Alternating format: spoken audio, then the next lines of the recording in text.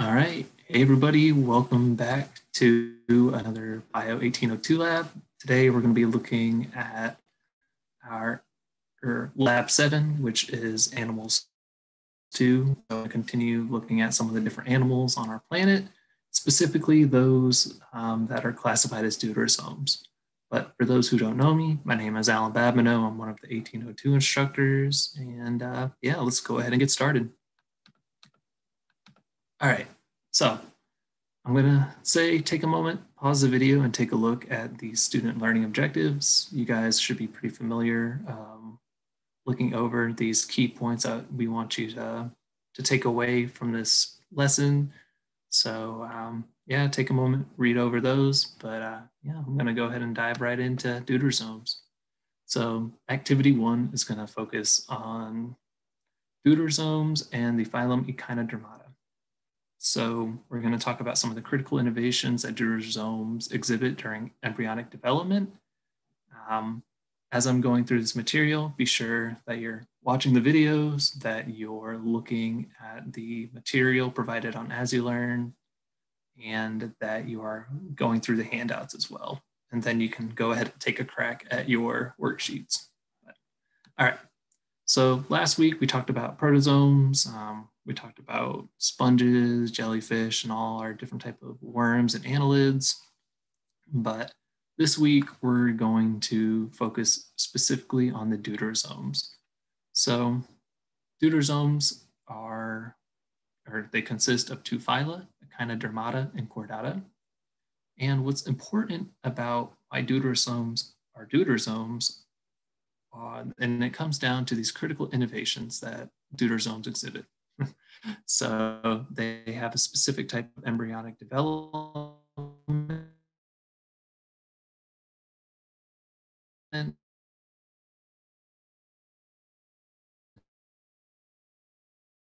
they also have which are like your starfish, sea stars, brittle stars, and then our chordata, which are our chordates, um, a lot of what you think of as vertebrates, your fish, lizards, mammals. But um, there are four phylum, but we're mainly just going to focus on these two. But it is noteworthy that within uh, deuterostomes, we also have hemichordata or hemichordata or hemichordates and um, phylum Xenoturbellidea. All right. So when looking at deuterostome development, uh, we kind of have this side-by-side comparison between protostomes and deuterostomes. And one of the main differences we can talk about initially is the difference in cleavage. So remember, we're looking at during embryonic development, we get to this eight cell stage. And you can see that the cleavage in a protostome, you kind of have the this spiral and determinate pattern, basically you can look at these cells and they kind of alternate and they're staggered. Whereas in this eight-celled stage of the deuterostome, we have radial cleavage with indeterminate um, cells. Basically, with the radial cleavage, you can see that these cells are kind of stacking on top of one another rather than being staggered like in the protostomes. Um, there's also differences in the blastopore. So if we're looking at the fate of the blastopore in part C, we can see that in protostomes, the blastopore will eventually develop into um, the mouth, or I, I, guess you could say the mouth develops from the blastopore. But in the case of deuterostomes, the anus ends up developing from the blastopore. So one other thing talking about cleavage, um, protostomes have what is known as spiral cleavage, which is determinate, meaning that a, a, cell's fate is decided as soon as it's made, whereas in deuterostomes, they have indeterminate um, cells, basically meaning that um, a cell's fate is not decided. Basically, a cell can be any type of cell up until a certain point of development you can kind of think of it as like stem cells as being cells that have the potential to be anything. But then, all right. So yeah, so deuterostomes have radial cleavage that is indeterminate, and we're going to talk a little bit more about that. All right. So as I mentioned before, we can also look at um, this specific type of development that deuterostomes have, which is called radial cleavage. And basically, this means that the daughter cells produced in the original zygote cell will sit above each other in previous cleavages. So if you look at this top left image, you can see that as cells are um, dividing within the radial cleavage pattern, that they're dividing and the cells are sitting on top of one another. So instead of being kind of staggered and having this alternating cell pattern like we saw in the protostomes, you can see that the cells are directly on top of each other, and they, um, that is a characteristic of radial cleavage. And another aspect of this is that there's intermediate inter, oh man, I can't even talk, but uh, there's indeterminate cleavage. Basically, in that, like I was mentioning before, if a cell is excised during development, it can still become a normal embryo, meaning that early in development, cells don't have a specific task. They can basically be anything during the early development. So um, fate basically is not determined until later in development. So if a cell is lost from a zygote, or not a zygote, but uh, like a developing blastopore, then it's fine. So therefore, if a cell is separated, it can still come back to um, the task of forming embryo if it's separated early enough. And then finally, um, we, like I mentioned in the previous slide, the fate of the blastopore. So rather um, than becoming the mouth, like it is in a protostome, the blastopore opening will become the anus of a deuterostome. All right. And so looking basically how that looks, again, you have spiral cleavage from our Lophotrochozoans, where you have cell division and the, the new daughter cells are kind of in this alternating staggered pattern, is how I like to think of it. But then in radial cleavage, you can see that you have basically the stacking of cells. Whereas a cell divides, they are not staggered from one another and they start to stack on top of each other during cell division.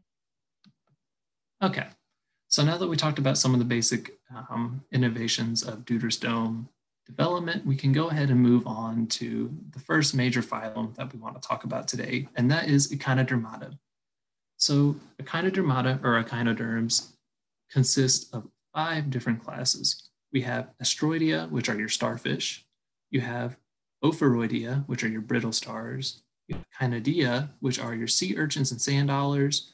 You have Holothuroidea, which are sea cucumbers, and then we have Crinoidea, which are your sea lilies. So within the phylum Echinodermata, there's over 7,000 living species. And all of these species are marine only. They're only found in saltwater ecosystems. They are not found in freshwater. They're not found in terrestrial, only basically in these ocean type systems. Um, adults are pentaradial symmetric, whereas the juveniles are bilaterally symmetric. So we'll talk a little bit more about that, but basically the larvae for a lot of these species undergo a metamorphosis, which drastically change what the larvae look like compared to the adult. But because the larvae are bilateral, they are placed within bilateria. And then one other really cool thing about Echinodermatas, which we will talk about more, is that they possess a water vascular system, which is unique to the phylum, and it helps some of these species move around as well as even in some um, helps with circulatory functions and moving of like blood through their systems. But, all right. So one of the other critical innovations that we talked about was the endoskeleton that um, stones can form. So the endoskeleton within echinoderms um, basically, all these echinoderms have an endoskeleton that is composed of these uh, basically calcium ossicles and uh, spines. And basically, the dermal ossicles are composed of calcium carbonate, and they provide internal structure and support for the body of these echinoderms. Um, basically, they're kind of like these plates, and they help to form this large internal skeleton that's called a test. But the fossils, um, even uh, those that protrude from the body wall, are covered by a thin layer of epidermis. And so, even though it might look like an exoskeleton for some species, they are still part of the endoskeleton by definition. But yeah, they look more similar to an exoskeleton like, um, like an arthropod has. All right, so now we can kind of talk a little bit more about each one of these classes. So Asteroidea are your starfish, your classic Patrick stars, and uh, we're going to talk more about all the different um, systems within starfish, but it is important. Um, I would definitely take a minute to pause the video to look at um, this figure, but you guys are going to need to know like the internal structure of a starfish, and we are going to show a dissection in some of the supplementary materials that I would highly recommend you taking a look at. But basically, starfish um, should be relatively familiar, especially if you watch cartoons growing up like I did, and a lot of SpongeBob. So yeah, your classic Patrick Star. All right. So the next class we're going to talk about is Echinidae, which are your sea urchins and sand dollars. For these guys, it's not super important to know the internal structure of um, these sea urchins, but one thing that is pretty cool about sea urchins and sand dollars is that they have this very unique mouth part on the bottom of them called Aristotle's lantern.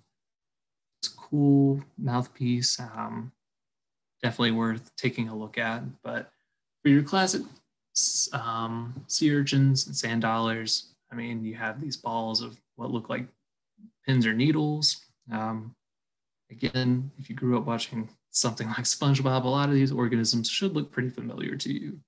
And then you also have sand dollars, which are these very flat um, organisms that kind of have the star shape in the center.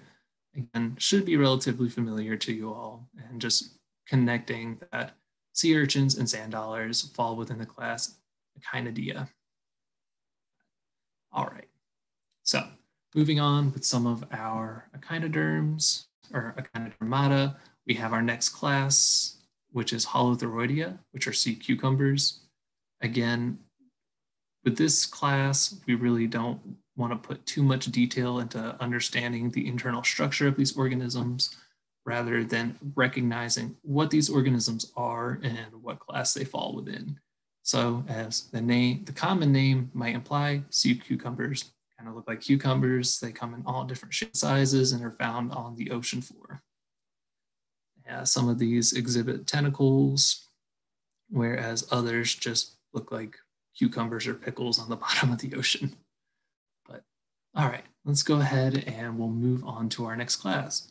So Ophiuroidea are your brittle stars. And again, this one is often confused with sea stars, which again, like starfish fall within Asteroidea, whereas brittle stars are Ophiuroidea. But one major difference between starfish versus brittle stars is that brittle stars have a much more defined central disk with basically this center point of their body. And then their arms tend to be um, much longer and more defined. well, longer and skinnier, not so much defined compared to a starfish. So as you can see, they have these long arms, and a very small defined central disk. All right, and finally, our last class that we're going to talk about is are sea lilies. And this group of organisms is very few, there's very few of them left in the wild. They are an existent species, but uh, were much more abundant during the Paleozoic era. Um, you can find a lot of these in the fossil records, but um, there aren't many existent species left. But as adults, um, these sea, sea lilies stem and are basically attached to substrates with a crown at the top. They kind of look like a plant in a way, but they are an animal. The crown part of the plant is made up of the arms of the echinoderm, but they are fairly feather-like And they basically use these feather-like protrusions. They kind of use them like arms to help capture their prey. And then um, they also have a mouth, which uh, radiates out of a central point where basically that's where they go to eat. But, all right. So those are kind of our five main classes that we're going to be talking about, but we're going to go into more detail specifically for starfish. So when looking at the starfish life cycle, we can see that um, when we start as an adult, we're producing our gametes. So we produce our egg and our sperm via meiosis. We get fertilization between egg and sperm, and a zygote is formed, basically that fertilized egg, that single diploid cell. We start to get cell division via mitosis at this point, and we become an eight stage cell. And as mitosis continues to occur, we get the formation of a blastula. Um, again, we're going to keep go undergoing mitosis and eventually become our immature larva. And the larvae of starfish undergo a metamorphosis in which they go from having this bilateral symmetry into what we think of as an adult starfish. And so there's a variety of different forms that a larval starfish can exhibit, but they all are bilaterally symmetric.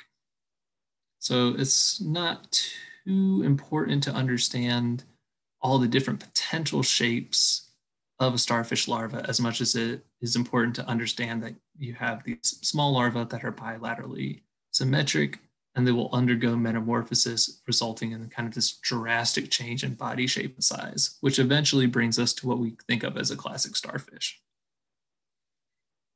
All right, so if we look at the deuterostome development in Echinodermata, Again, kind of following that life cycle, we have a single diploid cell, which is zygote, the fertilization of egg and sperm. We start to undergo mitosis and we get cleavage of the zygote into an, the eight celled stage.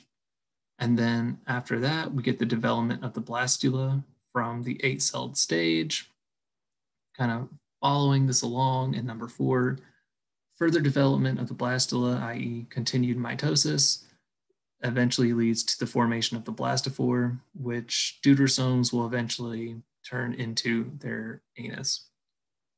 Um, continuing forward, at stage five, you can start to see the development is moving along. You get this full blastopore formation, i.e. you have gastrulation occurring, and you get the formation of um, the digestive tract. And step six, we're becoming closer to an immature starfish. And basically at this stage, we have development into the larval stage, where again, you can start to see that bilateral symmetry of the organism. And then finally, we get to stage seven, which is the immature starfish. And again, remembering that within starfish, we get um, metamorphosis of the immature starfish into the mature starfish, and you get drastic changes in um, body shape and size. All right, so now we're gonna go ahead and talk about the external anatomy of the starfish before moving into the internal anatomy of the starfish. So basically, we're gonna take a look at the dorsal side of the starfish first. And we're gonna go back and forth between this kind of live specimen as well as this illustrated specimen. But basically, on the dorsal side of the starfish, we have anus where um, basically the leftover food is excreted from the body of the starfish. We have the madreporite, which is a pore on the, the dorsal side of the starfish that allows for the intake of water into the water vascular system which we'll go into more detail with in just a little bit. And then we can see that there's this central disc that of the different arms of the starfish radiate from. And one cool thing about starfish that we'll talk more about when we get into the nervous system is that they do have these sensory eye spots located on each one of the arms of the starfish. And even though they're eye spots, they don't actually have vision in terms of what you and I think of as vision, being able to see things clearly, but rather they're able to detect light and dark, which allows them to um, help find prey and move around, or not so much moving around, but know where to move. But, all right. So when we look at the venter side of a starfish, you'll notice that in the center of the center, there's a mouthpiece that the starfish uses to eat its prey. You've got an ambulacral groove that run along like the center of each of the arms of the starfish. And then we have these two feet that kind of run along the side of each uh, groove.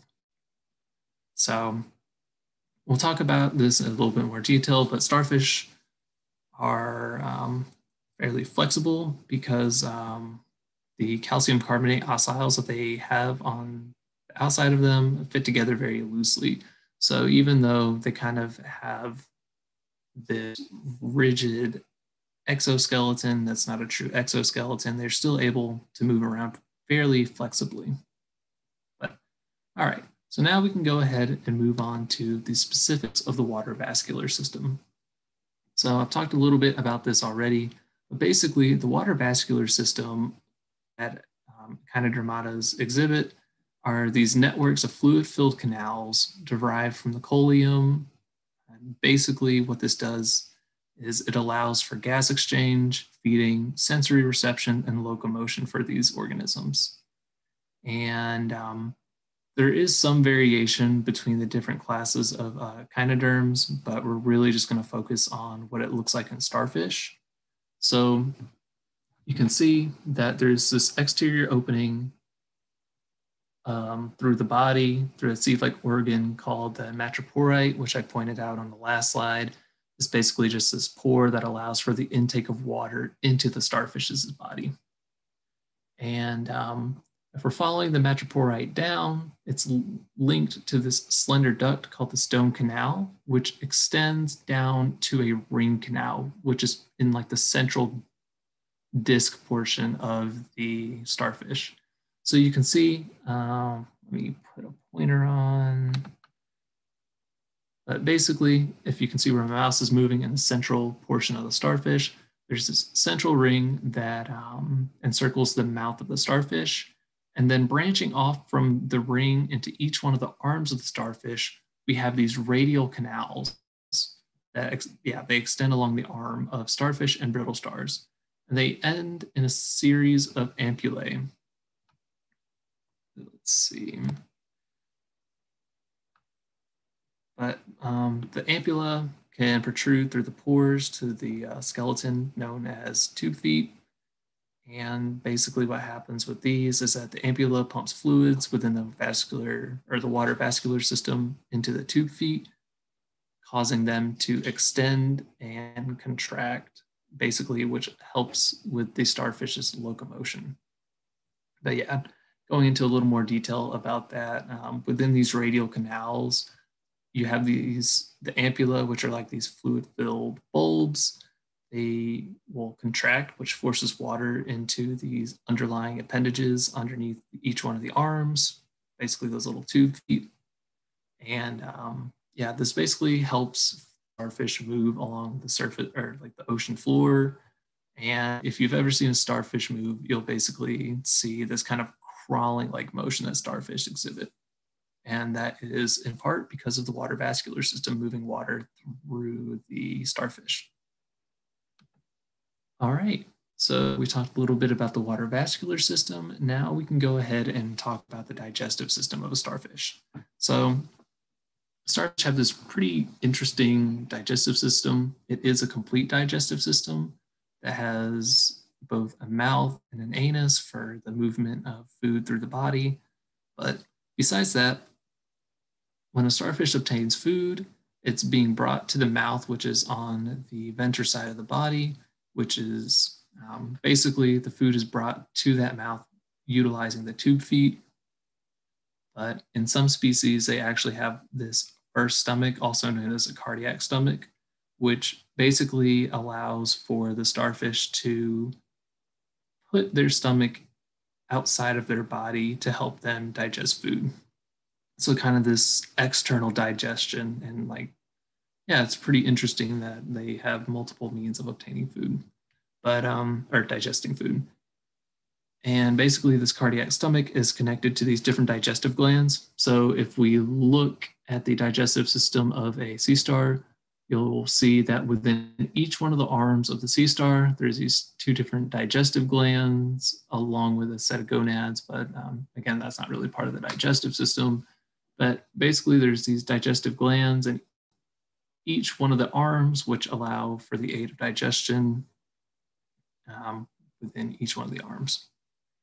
And then finally, you have nutrient absorption that occurs within these digestive glands that extend down the length of the arms. And once the food has been properly digested, it ends up getting excreted out of the anus or the mouth, which I find is kind of interesting that it has a specific place to excrete via the anus, but it can still use its mouth for that as well. All right. So, so the circulatory system of echinoderms is pretty interesting in that they have an open circulatory system. So if we think of what a closed circulatory system is, is pretty similar to like what humans have, where our blood is carried via arteries and veins. But with an open circulatory system, that is not the case. Rather, that blood suffuses through the body and uh, may be in direct contact with the environment at times. But um, within the circulatory system of echinoderms, they don't actually have a true heart. They have blood that lacks a pigment that flows kind of freely through the different body cavities or coeloms. And in this way, blood kind of bathes visceral organs and is involved with transporting dissolved nutrients and respiratory gases all internally. So there aren't like those different blood passages like veins and arteries that we're used to thinking of when we think of a circulatory system. But another interesting aspect of the circulatory system in echinoderms is that the water vascular system helps in the aid of circulation. Basically, by using the pumping of water through the starfish, it helps to circulate fluids through the body. All right, so we're also, we're gonna build on the water vascular system a little bit more when talking about the respiratory system in echinoderms. But basically, again, because they're moving water through their system, they're also utilizing that pathway for other aspects of their life. So basically, when using the water vascular system, they're, these echinoderms are allowing oxygen to enter the body via simple diffusion through these um, thin layers of dermal tissue, which are on the end of the tube feet and then end up entering the water vascular system. So for some species, diffusion occurs directly across the skin rather than just um, going through it. And then with some starfish, they also have what are called skin gills. They kind of look like these little knobby projections on the skin of the starfish, and um, they help to aid in respiratory functions. All right, so we've talked about a variety of different systems within the starfish, and we're gonna kind of finish up with the nervous system. So echinoderms do have a nervous system. As I mentioned before, they are able to sense light. They don't have true vision, but they do have these tiny little eye spots on the, basically the ends of the dorsal side of each one of their arms. And these eye spots allow for the detection of light versus dark, not like what we think of as true vision but it helps them to um, basically know where to move. But in addition, some of their tube feet are sensitive to chemicals and are able to find food through chemotaxis, which is basically just a fancy way of saying that the movement is guided by um, a chemical cue or stimulus. But in terms of how the nervous system is dispersed within a starfish, they have we can think of it similar to how the water vascular is, in that there's this kind of central ring with it. Well, it's a central nerve ring, but basically, again, kind of a ring in the central portion of the, the body of the starfish. It surrounds the gut and it connects nerves to this central location from the center of the starfish. But there's also these radial nerves that run through the length of each one of the arms, similar to the water vascular system, where the nerves are running through each one of the arms along the inner surfaces of the body cavity. And um, that's pretty much how the nervous system of a starfish is dispersed through its body. But overall, that's our introduction to echinoderms. If you have any questions in regard to the material, feel free to rewatch the video as well as reach out to either me or one of the other lab instructors. And I will see you in the next video.